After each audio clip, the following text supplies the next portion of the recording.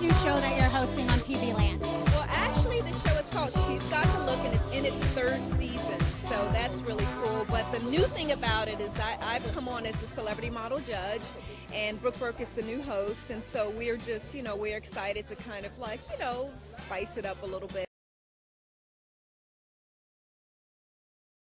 Some of your uh-huh. co-stars in the movie were future Oscar winners Julia Roberts and Forest Whitaker, just to name a few.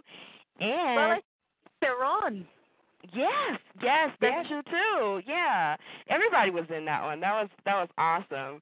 Um, and you were discovered by Yves Saint Laurent. Uh, how huge is that? Now, did you see all of this success in your future when you first aspired to be a model?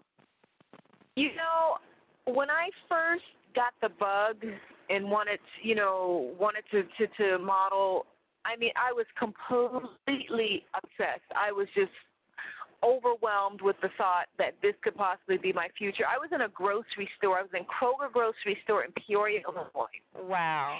grocery shopping. You know, I lived uh I was lived in Chicago and Peoria in my um uh I guess early teens and late teens. Like Mhm. uh from like 10 to say 18 I was in the Midwest. Mhm.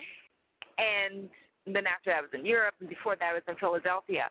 But um in Kroger grocery store, 14, 15 years old, saw an Elle magazine and just I became obsessed. I took all the pages out of the magazine, wallpaper my bedroom wall, drove my sister crazy, drove my mom crazy, and I just was on a mission. I mean, I literally wanted to leave that day and go to live in New York and be a model. My mom was like, "Not gonna happen, kid.